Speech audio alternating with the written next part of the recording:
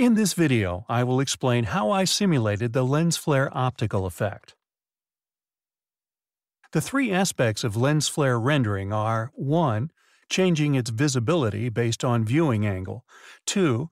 Changing its visibility based on whether it is occluded, and 3. Making sure it faces the viewer.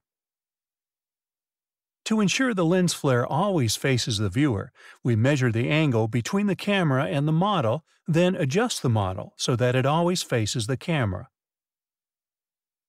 To change the model's transparency based on viewing angle in a 2.5D game, such as mine, you only must measure its distance from the camera. We then set the opacity of the model based on that distance. The attenuation is proportional to the square of the distance.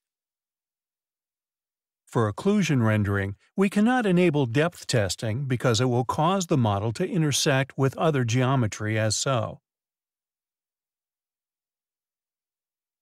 What we need is a method for determining whether the object that is causing the effect is visible.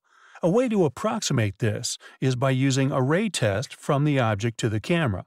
If the ray intersects any geometry between the object and camera, we fade out the effect until it is invisible. If it is visible and the ray is not intersecting any geometry, we fade it back in. It should fade out faster than it fades in.